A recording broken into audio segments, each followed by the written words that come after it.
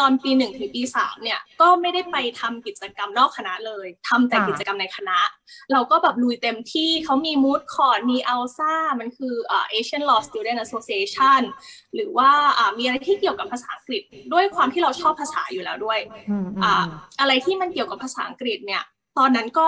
เด็กนิติส่วนใหญ่จะกลัวภาษาอังกฤษใช่ใช่พอพอเด็กนิติส่วนใหญ่จะกลัวเนี่ย มันก็เออเปิดโอกาสให้กับคนที่ไม่กลัวภาษาอังกฤษคือทุนในมหาวิทยาลัยเนี่ย เยอะมากโดยเฉพาะคณะนิติศาสตร์เนี่ยส่งเด็กไปเนี่ยไม่ว่าจะเป็น forum conference ต่างๆ หรือว่าจะไป moot court เนี่ยทางมหาลัยออกให้หมดเลยนะคะ ถ้าเราอืมได้เป็นอืมตัวแทนมหาวิทยาลัย หรือบางทีเนี่ยถ้าไปแข่งกับอ่ามันจะมีแข่งกันเป็นระดับประเทศเนี่ยเขาก็ออกให้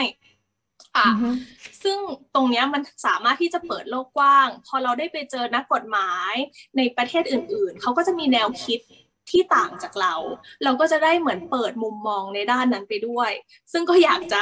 อยากจะให้ทุกคนเนี่ย ลองแบ่งเวลามาทำกิจกรรมตรงนั้นดู ค่ะ แต่ว่าถ้าถามว่าแบ่งเวลายังไงเนี่ยก็คือปีหนึ่งถึงปีสาม ก็แบ่งทำกิจกรรมในคณะ แล้วปีสี่เนี่ยก็ลุยเลยว่าแบบเอออยากจะลองไปทำกิจกรรมนอกคณะดูบ้างอืมอยากจะเป็นแบบเรียนมหาลัยกับเขาบ้างอะไรอย่างเงี้ยค่ะ ก็ลองไปสมัครดูอืมตอนนั้นคิดว่าเอ้ยคงจะได้ออกกำลังกาย แล้วก็ได้ออกกำลังกายเยอะจริง ๆ เหนื่อยมากๆ